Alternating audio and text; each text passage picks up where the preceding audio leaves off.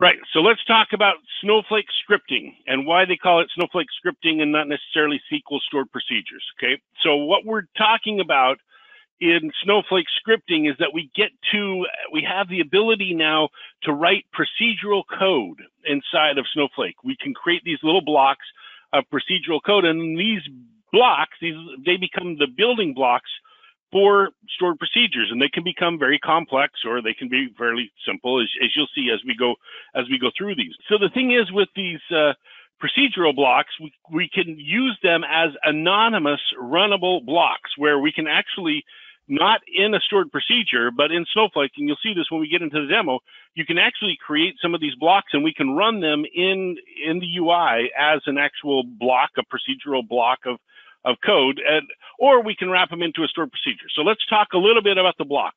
Uh, over here on the left, you can see we've got our long little uh, uh, group here, our Snowflake scripting code block with our little curly brace. So we've got two things that that are required for our block.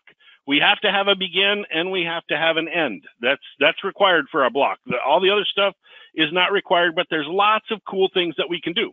So in scripting, we can add a declare a variable declaration with a declare statement above the block, above any of the blocks. So we could add that. Inside of the block, we can add additional blocks. We'll talk about that in a moment.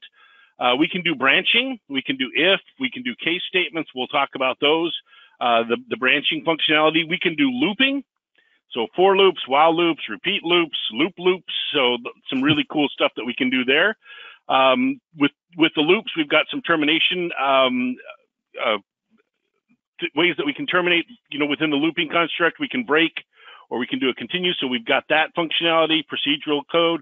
We've got variable assignments. We can define variables outside of the begin statement, outside of the block in the declare statement, but then we can also assign them inside of the block. But when we assign them inside of the block, we have to use the let syntax. So let variable A equal something. And so we, we need to do that. We also can do cursor management inside of the block. So we can open a cursor, we can fetch a cursor, we can close a cursor. So we can use cursors, which again, like they say, you know, just because you can doesn't mean you should. Well, cursors are that's the this, the meat and potatoes of what we're going to do here. But we're going to talk about some of the things that we want to do actually in the cursor and some of the things that we want to do not in the cursor. So there's some really important things there, and we'll get into those. We can raise exceptions. We can return values. We're going to talk a lot more about that in in a moment. Um, with the types of values that we can return, and then we can do some exception handling, and then we've got the end of our blocks. Hey, folks, thanks for checking out this cut from our broadcast. To see the full show, click on the link in the video description. Also, check out our Learning Center, which has white papers, events, live streams, and short explainer videos on a wide range of data management topics. And of course, if you like our content, please share it on LinkedIn. That really means a lot to us. Thanks again for checking us out, and we hope to see you in our next broadcast.